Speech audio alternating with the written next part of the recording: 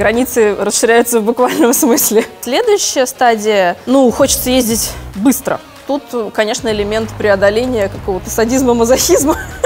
Это увлечение помогает ну, так, быстро соображать. Я Оля, я увлекаюсь шоссейным велоспортом и велотуризмом.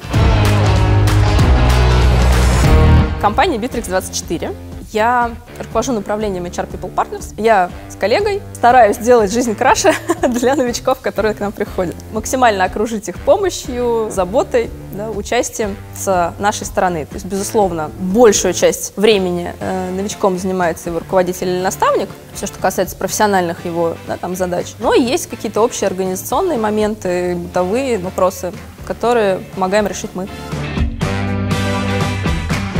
Начиналось все просто с покатушек по городу, когда мы ну, могли вечерком да, собраться по улицам, по парку, покататься, где-то посидеть, поболтать, еще поездить, еще посидеть, поболтать и так далее. Потом приходит идея, а давайте на море каким-нибудь там зеленым маршрутом через леса, а почему бы нет? Потом, а давайте съездим там по косе, и ты уже обнаруживаешь себя где-нибудь там за 150 километров от города. Потом границы расширяются в буквальном смысле.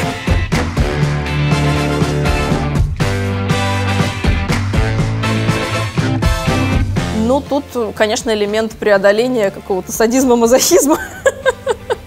Что вот ты смог, ты сдюжил. Потому что я до 20 лет была абсолютно не спортивным человеком, при том, что у меня отец физрук. Если уж прям совсем идет снег, дождь, если там ниже 0 температура, то велосипедный станок облегчает жизнь еще специальная программа для велосипедистов и бегунов, когда станок подключается к этой программе, ты в интерактивном режиме там выбираешь себе маршрут, я не знаю, там Франция, Англия, Америка, Канада.